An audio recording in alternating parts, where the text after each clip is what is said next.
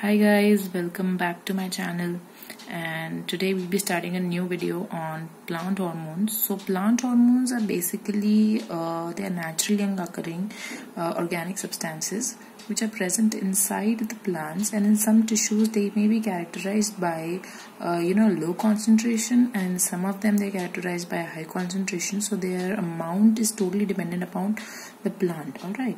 And plant hormones are able to exert their action locally or at a distance. So plant hormones are basically of five types. That is auxin, gibberellins, ethylene, cytokines, abscisic acid and all of them have the following precursors. So there are certain common things which are present in all the plant hormones. So first of all we'll be talking about amino acids. Precursors मतलब precursor का मतलब जिससे वो बनना start होता है और right, जैसे कि plants का जो process होता है वो food formation का किससे होता है food how is the food formed by sunlight so sunlight is acting as a precursor that is एक starting material all right. And in the same form uh, if we talk about plant hormones then uh, first of all we'll be talking about amino acids. So in i mean in case of amino acids tryptophan and methionine are used as the precursors. And tryptophan is the uh, precursor of auxin which we'll be studying the first hormone which is recognized. And second is methionine which is uh, the precursor of ethylene hormone. All right. And lipids is the precursor of um, uh, linoleic acid. And isoprenoid compounds are the precursors of cytokinins gibberellins abscisic acid racinoids etc so you need to keep in mind all these basic things because they are acting as the precursors and precursors means the starting material of the hormones how are the hormones formed and how are they further built so now we'll be starting with what is auxin Alright, so auxin is the first plant hormone to be identified. जो सबसे पहला plant hormone हमने identify किया था that was auxin and it was discovered by Wendt. It was isolated from the root of oat coleoptile. It is a type of plant and oat coleoptile के tip से हमें ये मिला था auxin and there are three main types of auxins IAA, IBA and PAA. IAA is indole 3 acetic acid and IBA is indole 3 butyric acid and PAA is phenyl acetic acid. If you need to note down this, just do it and uh, there are more than 200 forms which are present. And all these forms have different uh, different chemical structures. All right. ऐसा नहीं है कि oxygen सारे type के oxygen ही हैं तो सबका chemical structure same होगा. They might have different chemical structures and most of them usually have different structures but some of the common features of oxygen are they are unsaturated planar aromatic and carboxyl side chains ये होता ही होता है. ठीक है? You can look up for the structures in any kind of books oxygen का structure is commonly present in uh, on the internet as well but structure में जितने जितने भी common features होते हैं ऑक्सीजन के वो यही होते हैं कि unsaturated planar aromatic ring होती है and carboxyl side chain so synthesis में हम पढ़ेंगे now सिंथेसिस पहले हमने पढ़ लिया कि बेसिक्स क्या होते हैं हमारे ऑक्सीजन के now will be studying about the synthesis so synthesis means where is it synthesize inside the plant so plants में यंग लीव्स होते हैं. For example you must have seen leaves coming out छोटे छोटे जो leaves होते हैं they are light green colour and they are refer as young leaves and उनमें synthesis start होती है. And shoot apical meristem developing fruits and seeds these are the major common parts in which the synthesis takes place all right now intracellularly हर एक cell के अंदर ये कहाँ पे प्रेजेंट होते हैं कहाँ पे सिंथेसिस होती है क्लोरोप्लास्ट एंड साइटोसॉल में so IAA occurs in both forms in two forms IAA is indole acetic indole 3 acetic acid and it occurs in two forms that is conjugated form and free state form conjugated form क्या होता है conjugated with high conjugated means they are attached on either side with high molecular weight compound and low molecular weight compound in free state form they are existing in freely state that is no attachment from any side now biosynthesis का मतलब कि बनता कैसे ठीक है? So biosynthesis के लिए there are two pathways first is tryptophan dependent tryptophan हमने बताया था प्रीकर्सर की तरह एक्ट करता है and it is a type of amino acid so tryptophan dependent होता है सेकेंड होता है ट्रिप्टोफैन इंडिपेंडेंट तो जो ट्रिप्टोफैन डिपेंडेंट पाथवे होता है, उसका जो स्टार्टिंग मटेरियल होता है, वो होता है tryptophan so there is a cycle which goes on and this is tryptophan tryptophan के बाद जो बनता है, वो बनता है indole three pyruvic acid this step is known as deamination reaction deamination में amine group का removal हो रहा होता है as the name suggests deamination that is removal of amine group and enzyme involved is tryptophan transaminase now after 3 in uh, indole 3 pyruvic acid indole 3 acetaldehyde is formed and this step is known as decarboxylation and uh, the enzyme is indole 3 pyruvic acid decarboxylase third step in which indole 3 acetaldehyde forms indole 3 acetic acid that is IAA is the step called as oxidation reaction और ये enzyme the responsible enzyme indole three acetaldehyde dehydrogenase in tryptophan independent pathway the starting agent itself is indole क्योंकि tryptophan independent है। If tryptophan dependent pathway में obviously the whole pathway will depend upon tryptophan so there there tryptophan is acting as a precursor here we talking about tryptophan independent pathway that is tryptophan के हो या ना हो उसे कोई फ़र्क नहीं पड़ता, वो बन जाएगा खुद। So there are two pathways in which the tryptophan independent pathway the starting material is not tryptophan the starting material is indole. So now we'll be talking about transport Auxin is the only hormone that is transported unidirectionally. You need to keep that in mind. Unidirectionally ही एक ही hormone transport होता है जिसका नाम होता है auxin. And there are two ways to transport indole acetic indole 3 acetic acid. One is long way and one is short way. Now, if you have uh, read uh, the phloem unloading and loading process, which I've told you in the last video, you must know what is a uh, you know long way pathway and what is a short way pathway. If you haven't, go watch it, guys, and don't forget to subscribe subscribe my channel because I'll be posting every single video um, in a repeated process in a repeated manner simultaneously. Um, in, in detail videos are there so kindly like share and subscribe guys. Do not forget to like share and subscribe and do share it among your friends uh, so let's come back. Long way and short way. All right so long way is referred as non-polar and short way is referred as polar. So long way is from source to sink. Source we have already told you what source is where the production is taking place and sink where the produced substance is going and unloading itself is referred as sink.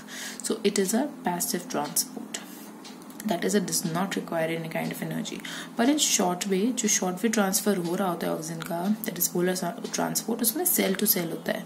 Cell एक cell से दूसरे cell में। And this is the active transport that it is requires energy and basipetal में मतलब stem से tip to the stem tip to the base in polar transport of oxygen two important things अब polar transport हमने बोला जो short वे वाला transport होता है शॉर्ट वे वाले ट्रांसपोर्ट में there are two important things polar influx and polar efflux what is efflux means when it comes out that is when oxygen comes out from the plasma membrane and passes through the middle lamella.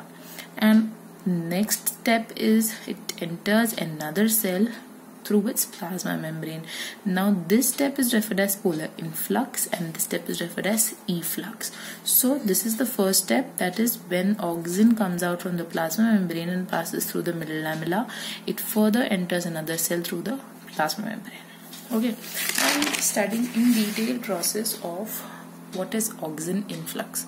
So oxygen influx as the name is suggesting oxygen ka andar aana inside the plasma membrane when it enters the cell. So the oxygen influx takes place by two different mechanisms that is simple passive diffusion and secondary active transport. In simple passive diffusion the diffusion of protonated indole 3 acetic acid that is protonation matlab one H group is added to it that is IAAH if it is clearly visible you guys can see I've written it IAAH and secondary active transport deprotonated IAA that is one hydrogen is removed then a minus comes uh, a negative sign comes and via it the deprotonated ion that is IAA um, negative it uh, is transported via 2H plus IAA minus symporter. These symporters are present inside the plasma membrane. Alright now I A H is a lipophilic form so I H को हमने क्या बोला था कि ये protonated form होती है and diffuses to the plasma membrane easily but the deprotonated form that is IAA minus it is negatively charged therefore it does not cross the membrane by simple diffusion ठीक है? सो अब हमने बोला कि जो H plus ATPase होता है, ये कहाँ पे प्रेजेंट होता है? ये हमारी सेल बोल में प्रेजेंट होता है. And it maintains the pH at five therefore half of the oxygen is already protonated और वो इजीली उसमें से चला जाता है across the and reaches the cytosol अब हमने बोला कि जो IA होता है enters cytosol pH 7.2 and it is dissociated into anionic form that is IAA minus.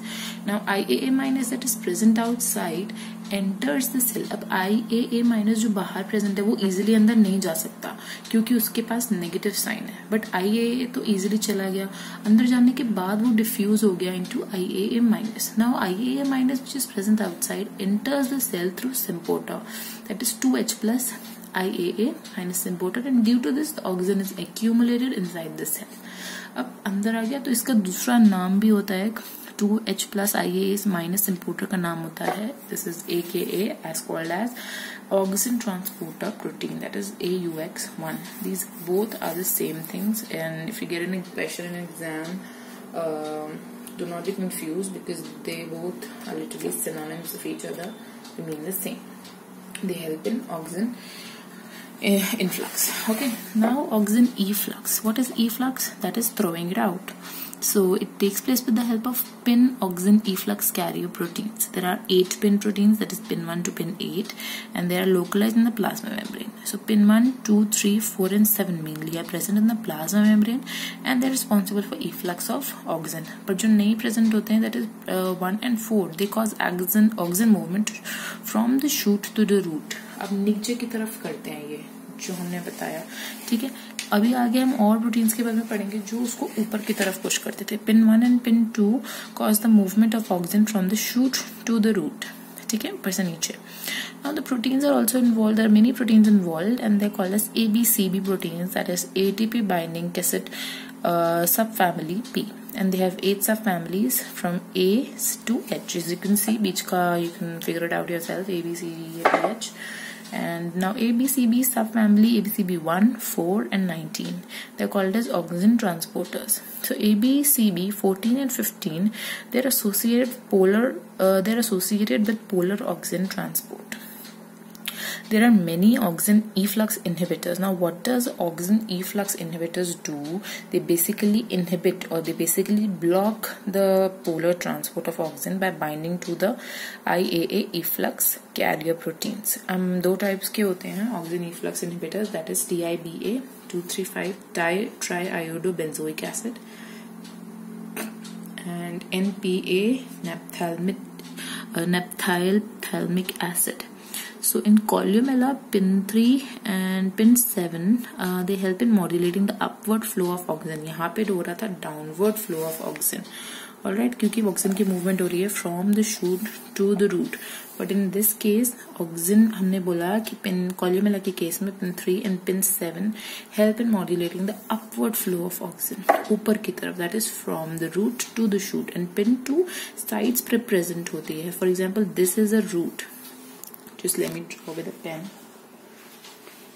For example this is the root. This is the stellar system. So pin 1 and uh, sorry pin 3 and pin 7 they are present here. And pin 2 is present on both the sides to modulate the upward movement. All right. To modulate it upwards.